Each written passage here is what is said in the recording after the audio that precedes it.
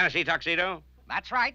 I'm a reporter for the Megapolis Tribune. My newspaper's doing a story on the zoo. Well, uh, you have come to the right place. I know all about the zoo. Yes. Well, we understand that there's a feud going on between you and Jerboa Jump. How come you two don't get along? I mean, what's the story? What's the story? Well, let me tell you. It all started a long, long time ago when the tuxedos and the jumps were neighbors back in the hills.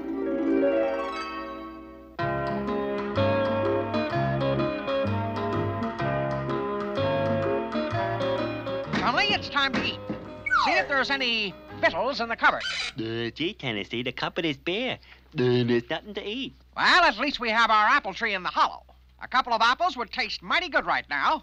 Let's go.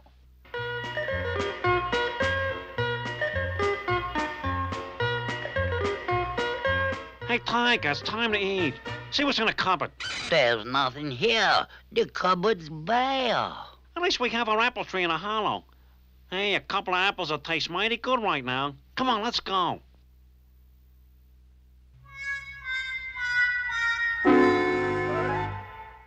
Here's a beauty. I'll just.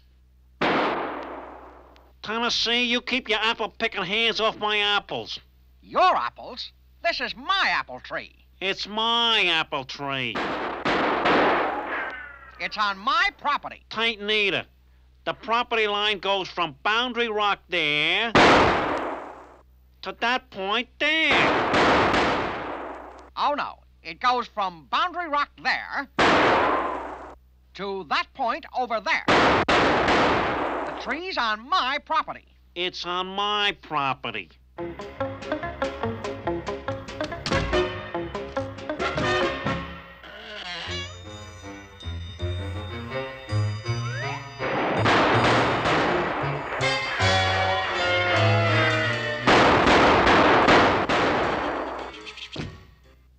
Gee, Tennessee, I'm still hungry. Never mind, Chumley. Tennessee Tuxedo will not fail. That apple tree is ours, and I'm going to get those apples. Now, here's my plan. First, you go out and attract their fire, and then I'll sneak down and capture the tree. Yoo-hoo.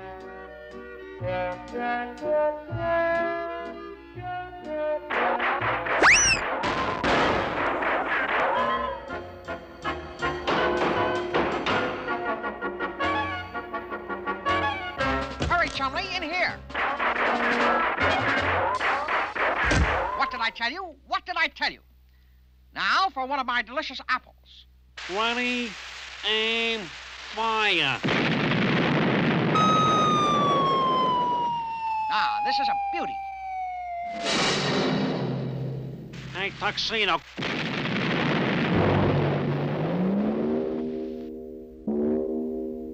Get away from my apple tree. Uh, gee, Tennessee, I'm still hungry. Tennessee Tuxedo will not fail. I'll get those apples. Now, here's my plan. Now, here's my plan.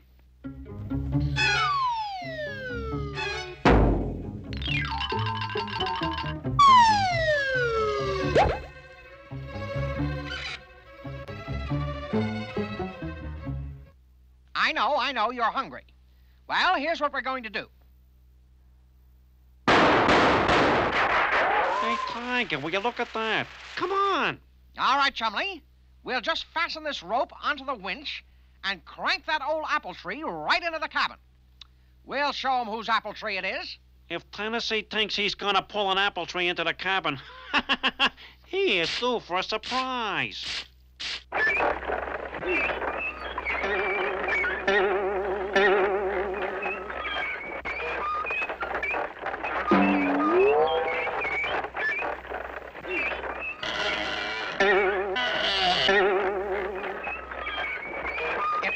Be almost here, Chumley. Oh,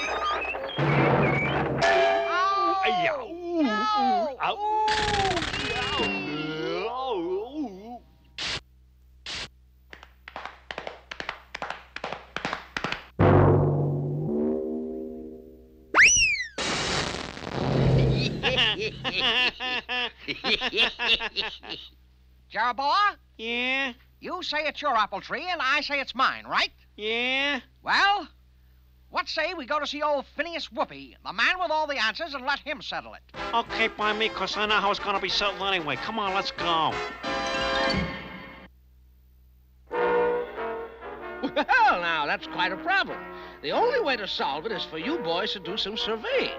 Exactly what I said. We have to, uh, uh, what's surveying? Well, surveying is the method by which you can find out exactly where your property line is. Here, let me show you on the three dimensional blackboard. Surveying is very old. The Egyptians used it every year to find the property lines after the Nile River had flooded and washed away all the boundary markers. And of course, every schoolboy knows that George Washington was a surveyor. Uh, gee, I thought he was president. Chumley, Hey, uh, look, all this historic stuff is okay, but how about our line? How's this surveying stuff gonna tell us where that is? I'm coming to that. According to the map of your property, the line starts here at Boundary Rock. We know that. The question is, which way does it go? Why, the direction is written right here on your map. It says the line goes north 67 degrees east. yeah, but how do we know for sure which direction that is? You have to use a transit, which is the surveyor's most important instrument. Look at this one I have over here. You can see that it's a small telescope mounted on a tripod. The telescope can swing around in any direction. Attached to the telescope is a scale which tells us the angle that the telescope is pointing. All we have to do is move the transit around until it is pointing in the direction indicated on the map and. And then you look through it? Right, my boy. Put your transit at Boundary Rock. Set it at the correct angle, send Chumley out, and when you see him, the line between the rock and Chumley will be the right boundary line. All right, Jeroboa. We'll survey the boundary line and find out exactly who owns that tree. Agreed? Sure. I know what the survey is going to show. The tree's on my side of the boundary. But if it isn't, you'll agree to whatever the survey shows? Sure, sure, sure. Come on, let's go. Thanks a million, Phineas. A little more to the right, chum. That's it. That, that's it. Good. There you are, Jeroboa. According to the map and the survey, that tree is on my property. Okay, okay, so it's your apple tree. What did I tell you, Chumley? Tennessee tuxedo does not fail. Come on. At last, we're going to have some of those apples. Uh, but Tennessee, there aren't any apples. Uh, that big cannon of Jerboa's blasted them all into the next county. What? Jeroboa jumped ruined my apples? Where's my gun? It's in the cabin. Nobody ruins my apple tree.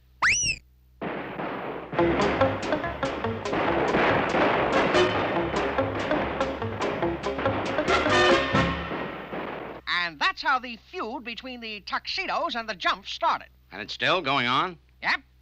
That Jeroboa just won't give up. Yo! All right, Jeroboa. You asked for it.